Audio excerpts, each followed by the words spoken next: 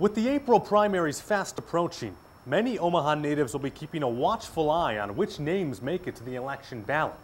For the two District 6 candidates, that's not an issue. The lack of opposition means both will advance to the May elections unopposed, but that doesn't mean they aren't fast at work to make their case for city councilman. The incumbent is Dr. Franklin Thompson.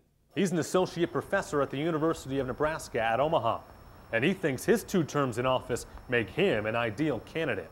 I'm the best man because I have the experience. I also uh, am good for the city in terms of civility, uh, working across party lines.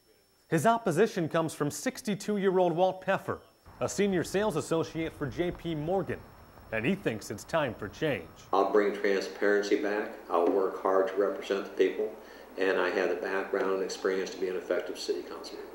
Peffer's official website, www.waltpeffer.com, already doned a news story that claims to catch the current city councilman in a lie, something that Thompson himself hasn't ignored. Um, you'll see me never once in the next couple of months. You'll never see me run a dirty campaign, even if others decide to do so. If you're not yet registered to vote, you can do so here at the City Council headquarters located just off of 18th and Farnam. Or just go online to www.votedouglascounty.com.